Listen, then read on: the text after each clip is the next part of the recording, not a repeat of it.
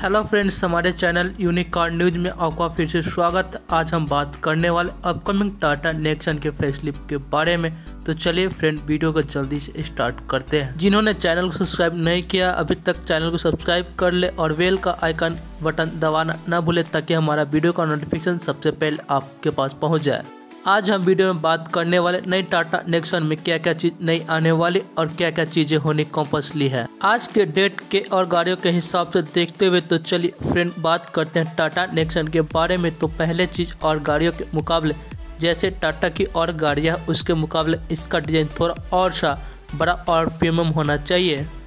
जैसे कि आप टाटा हैरियर वगैरह में देखते हैं, बड़े प्रोजेक्टर हेडलैम्प होने चाहिए, हाई बीम डी मिलने चाहिए, उसी के साथ साथ इसमें नया प्लेटफॉर्म आपको इसमें मिलना चाहिए, जो कि अल्फ़ा प्लेटफॉर्म है।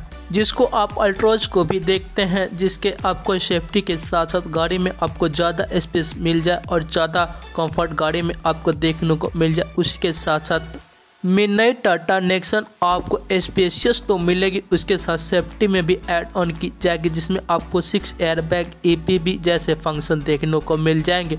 और साथ ही साथ में ये हैरियर जैसी फ़ंक्शन मिलेगी, जिसमें इसकी सेफ्टी और ज़्यादा इंक्रीज हो जाएगी। इसके साथ ही साथ अगर बात करें गाड़ी के इंटीरियर की तो इसके बारे में तो गाड़ी के इंटीरियर में आपको लेदर अपॉल्स्ट्री और भी लेदर देखने को मिलना चाहिए।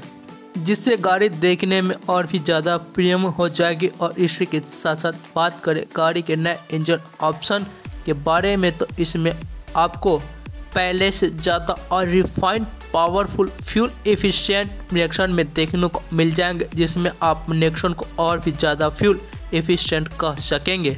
इसी के साथ साथ अगर बात करें गाड़ी के एक्सटीरियर की तो एक्सटीरियर में भी गाड़ी अभी लुक ठीक ठाक है, लेकिन इसमें आपको बड़े बड़े टायर्स और बड़े बड़े ऑयल से कहीं ग्राउंड क्लियरेंस और इसी के साथ अगर हम बात करें, एडेक्टिव क्रूज कंट्रोल में आपको देखने को मिल जाएँगी, जिससे इस गाड़ी की सेफ्टी और भी ज़्यादा बढ़ जाएगी। उसके साथ साथ लग्जरी फीचर्स और भी ज़्यादा बढ़ जाएगी। बड़ी टच स्क्रीन आपको मिलनी चाहिए, जो कि नेक्सन में अभी छोटी टच स्क्रीन मिलती है।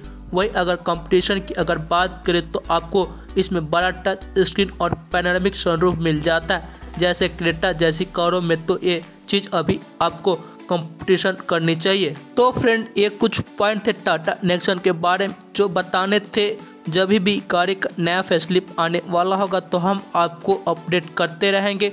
तो उसके लिए चैनल को लाइक शेयर और सब्सक्राइब कर लीजिए। हम मिलते हैं फ्रेंड गाड़ी के नए वीडियो के साथ तब तक के लिए safe drive we have nice day thanks for watching